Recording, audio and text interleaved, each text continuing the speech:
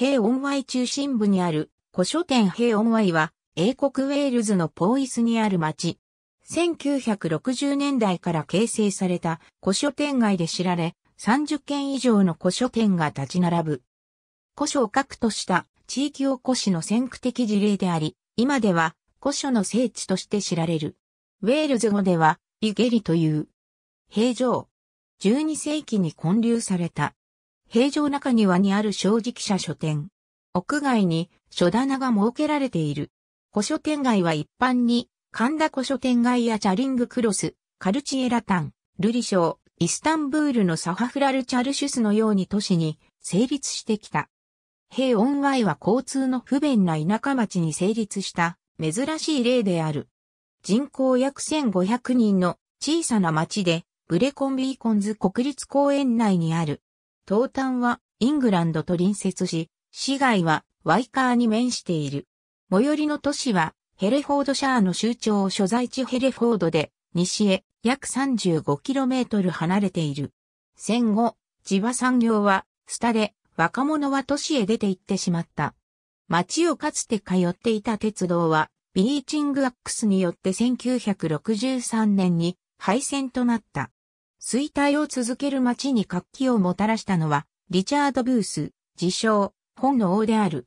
ブースは1961年に廃業していた映画館を翌1962年に旧消防署を買い取り、古書店を開業した。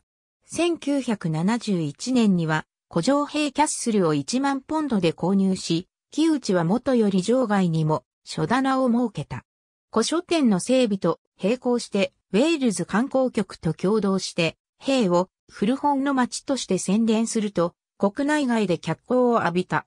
その後も1977年に兵の独立と EEC 脱退を宣言したり、ジャーナリスト金高薫を独立国兵の公爵に任命したり、1983年に総選挙に出馬するなど、ブースのマスコミ戦略が走行し、街はさらに有名になった。古書店街の発展とともに、骨董品店やレストラン、B&B などが増加し、今では一年を通じて観光客が絶えない。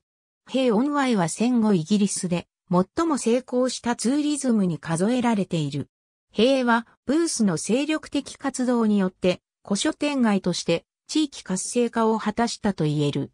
ところが、ブース自身は住民と軋轢が絶えず、古書店の放満経営から何度か破産宣告を受けている。また、町の運営をめぐって行政と対立したため、1980年代の開発局や観光局は塀の取り組みや経済効果を評価しなかった。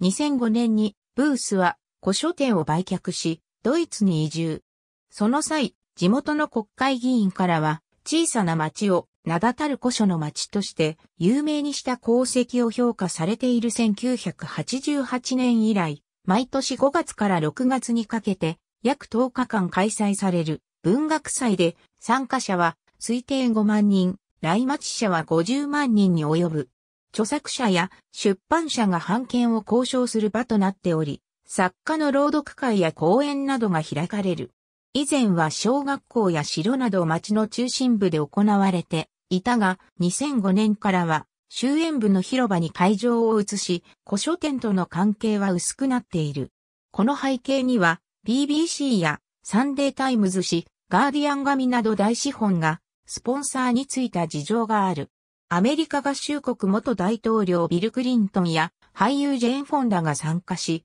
自著を宣伝したこともある。ヘイ・オンワイは、町外の大資本に頼らず地域再生を遂げたことから、近年のヘイ文学祭の変質に戸惑う住民もいる。成立節は、藤田博夫、古書の町と町づくり、及び鈴木照隆、ブックタウンによる地域経営に基づく。 Self-styled King of Hay Sells Up。bbc.co.uk http コロンスラッシュスラッシュニュース .bbc.co.uk スラッシュ1スラッシュハーイスラッシュウェールズスラッシュ MID スラッシュ 4159106.stm2007 年5月11日閲覧平文学祭部氏は鈴木照隆、ブックタウンによる地域経営、及び記録、古本屋の生の声に基づく。ありがとうございます。